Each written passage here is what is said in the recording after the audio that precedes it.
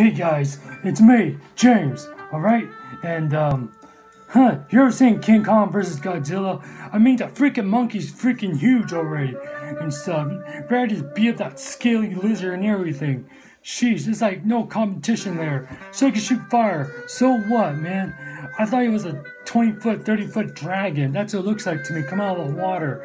I thought dragons live in caves and stuff. King Kong lives in the jungle, animals and everything and stuff. And we see, then I watched this movie called King Kong himself, and he got this girl like screaming every freaking time, like ah, ah. I was like, shut up already! I'm trying to watch the damn movie already.